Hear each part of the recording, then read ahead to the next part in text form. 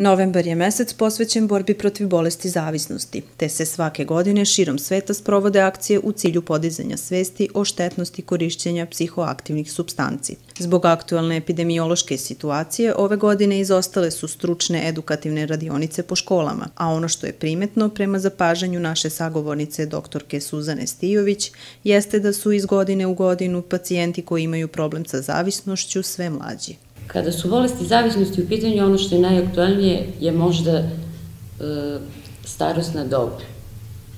Ono što bih ja primetila kroz svoje neko kliničko iskustvo, to da, da, da sada možda problemi kreću mnogo ranije, iako mislim da nije dovoljno registrovano, mislim da su sami roditelji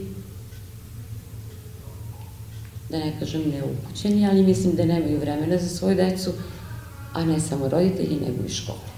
Proces lečenja je dugotrajan i prolazi kroz nekoliko faza, a ono što naša sagovornica naglašava jeste potreba da u lečenje budu uključeni i članovi porodice, jer će u suprotnom pacijent imati velike poteškoće pri povratku u svakodnevicu nakon lečenja. Imamo dosta njih koji su ogroman procenat, znači procenat, ogroman procenat se vraća, ali imate i Imamo i one koji su, znači, u, u abstinenciji i dalje, koji su sačuvali svoju bračnu zajednicu, koji su se okrenuli svojim porodicama. Obzirom da je lokalna naša sredina mala, mi se malte ne svi dobro poznajemo. Mhm. Svaka individua je za naš čitavo bogatstvo. Znači, e, u nekom tom samom procesu abstinencije, kako ste rekli, veoma je bitna i podrška porodice i bližnjih. Znate kako mi gledamo na to? Znači, mi ne možemo, mi ne možemo to sami. Mi smo uvek govorili da je to terapija četiri osnovca. U, u, u ovom prvom momentu je lekar ili taj medicinski tim je taj koji će pomoći. Ali onda najveći problem bude kad on treba da se vrati u svoju sredinu, Ako nema podrške porodice, nema ništa dobro. Radne organizacije, nebitno, gde god, znači, lekovi odrede jedno vreme, ali dođe vreme kad mu više ne trebaju ni lekovi. I nama je veći problem, ja apsolutno tvrdim da je nama veći problem porodica. Ne pacijent, god se svi fokusiraju na zavisnika, znači bez lečenja kompletne porodice nema izlečenja, jer je pacijent najslabija karika koja je pukla, mi to zovemo žrtveni jarac. Znači, imate apsolutno, imate bolesnu porodicu. Svi imaju neke svoje lične interese i sve njegove zavisnosti.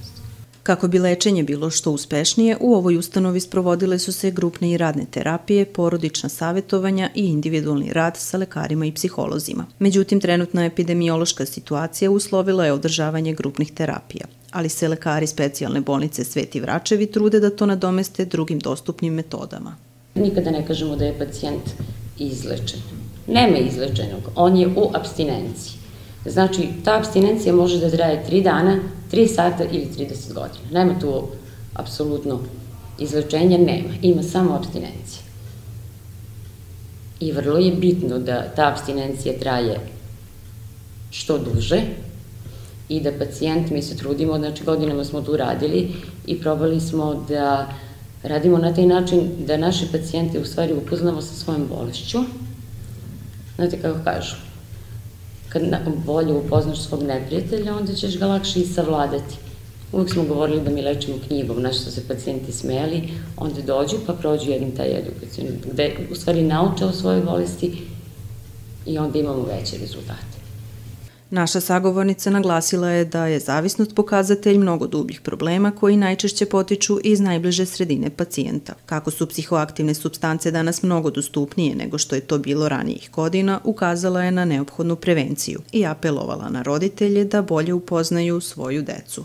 Bolesti zavisnosti su, kako mi kažemo, to je neki poslednji čin koji je krenuo mnogo ranije. Na što bih ja apelovala apsolutno prvo na porodicu.